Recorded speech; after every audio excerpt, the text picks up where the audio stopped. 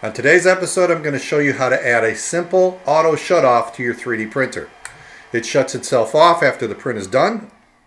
And later, when you come back and you want to turn it back on, it comes right back to life. I'll show you how to do it without any firmware changes on today's Filament Friday.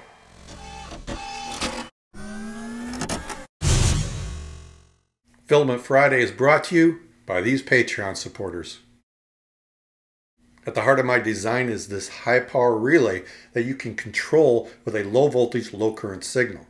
It's got some normally on plugs and normally off plugs, and you can control that by the signal. There's also a always on power, which we'll use as an option later in the video. Inside it's got a relay that can handle 30 or 40 amps depending on which plug you choose. It's got surge suppression. It's got optical isolation. It says it's got short circuit protection and there is a reset on the switch so that's an implied circuit breaker. And it's got heavy duty copper which is then covered with solder flooding. So it's really well built. And I like the fact that I only need 3.3 volts to control this so very low voltage can control high voltage. To control this, I'm just going to use a Creality stop switch mounted at the top of the printer. So when the x-axis crossbeam comes to the top, it shuts off the printer. Here's the schematic of what I'm going to build. I'm using a 9 volt battery for the low voltage, low current signal. And I'm using the stop switch to turn that on and off. And when it's turned on, it'll turn on the printer. Now I'm going to make my own harness with this connector set and also I have this crimper tool that I use. I've used this in previous videos, but I'm going to use it here. I'll show you another option in a little bit if you don't want to go this route. But what you do is you take the metal pin, put it in the crimper, and get it pushed in partially. And then you bring in the wire, not stripped, just insulation and wire all together. Put it inside the crimper, squeeze this thing, and the crimper will actually roll the pin and cut in through the insulation and make a really good connection. So then you take that and the locking pin goes into the slot and it snaps right in place. So then I just need to make a second wire for the other side and this thing's ready to go. Now if you don't want to fool with that, you can buy switches with wire harnesses and these are actually cheaper than the switches I showed earlier. They just sell out really quick. I think they've only got 15 left in stock, so that's an option. I'll put a link to this as well. Now I need to route this wire and I'm going to route this through the channel at the back of the printer. So I'll put it right inside the channel here and then I've got this little insert, plastic insert stuff. I stole it from another printer. It snaps right in. You can 3D print something to go in here as well. There's lots of 3D prints on Thingiverse for this. But it snaps in place, holds the wire. Then I'm going to bring it down the upright over here by the power supply, but on the channel that doesn't have the power supply screws going through it. So another piece to hold it in then bring it behind the power supply and then underneath the power supply all the way to the back of the printer. Now I need to connect the 9 volt battery to that wire and the way I'm going to do that is with these solder sleeves. I've used these in a previous video. They're very handy. They're basically a shrink tubing with a solder blob in the center. So you strip your two wires, put it to the halfway point so both the wires are touching. So the metal is touching, but it's touching at the solder ring. And then what you do is you heat it up with a heat gun and it shrinks the outer portions around the wire to hold it. And then you hold it there longer and then the solder starts to melt and solders the two wires together. So it's completely sealed and soldered. It's a great solution. So now we need to finish the circuit. We just need to connect to the little connector that pops out of the power relay and you can see that the left side is positive, the right side is negative. So I'll put the positive on the left side and I'll tighten up that screw. And then we're going to do the negative side and that will complete the circuit. So I'll take the negative side from the battery clip, put that in the connector and tighten that screw. Now some people like to put a ferrule on these things.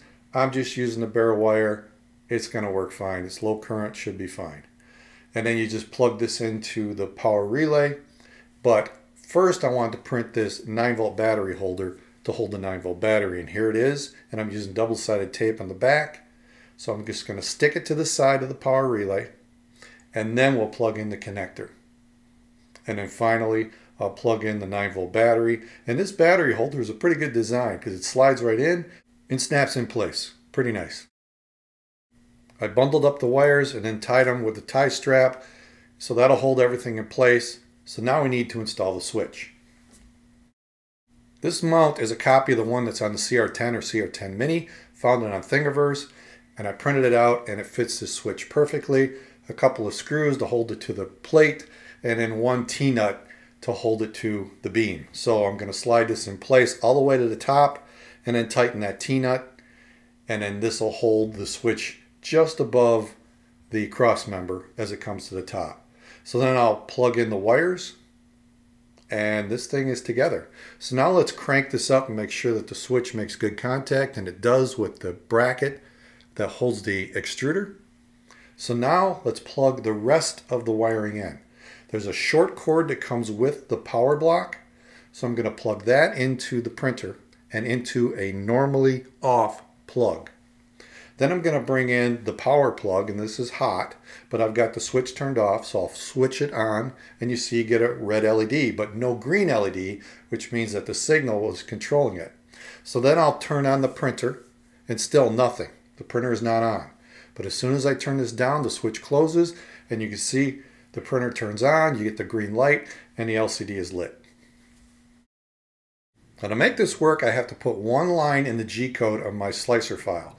So I'm going to go to Manage Printers, my Ender 3, Machine Settings, and I'm going to go to end G code. Now this will work with any printer that you're doing this with.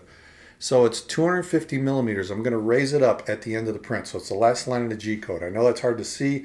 So here's the full end G code, but it's just this last line.